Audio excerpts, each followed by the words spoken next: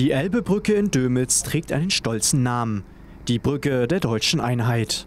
1992 wurde sie nach der Wiedererrichtung für den Straßenverkehr zwischen Ost und West freigegeben. 2017 wurde dort ein 25-jähriges Jubiläum gefeiert. Jetzt wird alles anders sein, wegen der Corona-Krise.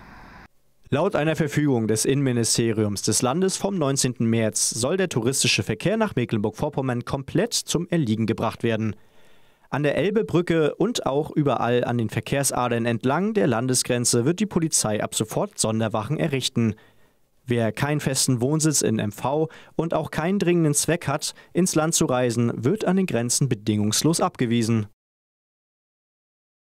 Die Polizei wird jetzt sichtbar verstärkte Präsenz an den Hauptzufahrtsstraßen nach Mecklenburg-Vorpommern zeigen, an den Straßen, an den Autobahnen weisen bereits, bereits jetzt Hinweisschilder darauf hin, dass das Land Mecklenburg-Vorpommern für touristische Reisezwecke nicht zu bereisen ist.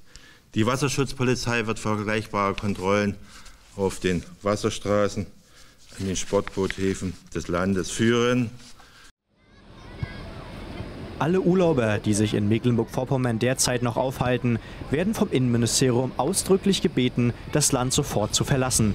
Mehr sogar, wer sich in MV vor der Corona-Krise einfach verstecken will, begeht, laut Lorenz Caffier, eine Straftat. Denn jede Bürgerin und jeder Bürger ohne Ausnahme hat eine Aufgabe, alles zu unterlassen, was die Gesundheit der Menschen gefährdet. Wir brauchen jeden Einzelnen dafür. Besuche, Reisen, alles, was Ansteckung bedeuten kann, sollte nicht stattfinden. Ich appelliere daher an alle und ich bitte auch alle, halten Sie sich an die Regeln. Infektionsschutz gilt für alle. Der Inlandtourismus soll ebenso hart zum Erliegen gebracht werden. Es wird dringend empfohlen, Sehenswürdigkeiten in der heimischen Gegend zu genießen oder einfach digital.